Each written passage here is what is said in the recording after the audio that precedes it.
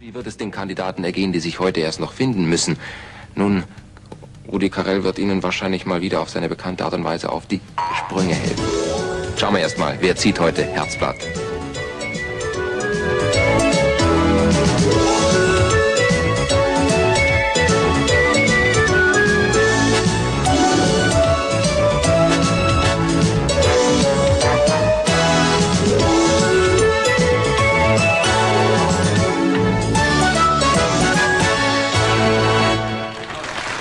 Herzlich willkommen meine Damen und Herren. Mein Name ist Rudi Karel und das ist Herzblatt.